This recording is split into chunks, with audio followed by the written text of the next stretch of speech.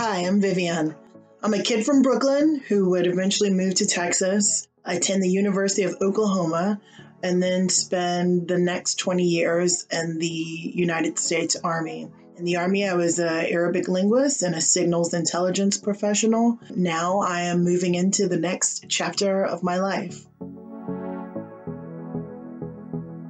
Applying for the Data Science for All Empowerment was pretty much a no brainer. I spent 20 years on what I like to call the front line of data evolution, data technology, as the intelligence community continuously hit rapid evolutions to grow and adapt to what was going on with our adversaries and, and of course, in the wars in um, Iraq and Afghanistan. As I was preparing to to retire or to move into the next chapter of my life after the military, I had all of this really tactile experience with data, but lacked a lot of the um, kind of bona fides or the, the certifications that would translate my, my data expertise into the um, private sector.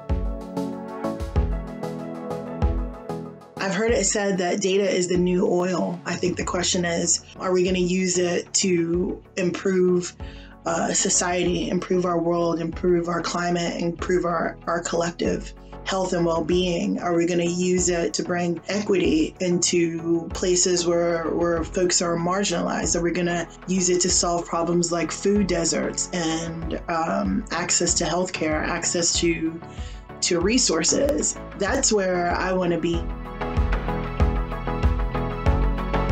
Solving problems. The more complex, the more intricate, the more difficult, the better.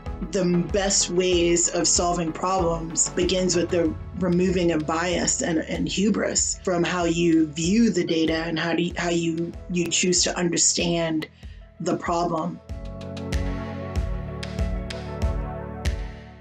I'm me you know um, at the core of my my personal philosophy is a belief that each and every one of us, because of our uniqueness, because of our difference, brings a fresh and valuable perspective to any problem set. I find strength in diversity. And so I think everyone brings something to data science. There's not never been a plethora of of, of um, people that look like me or have my own my shared experience in a room.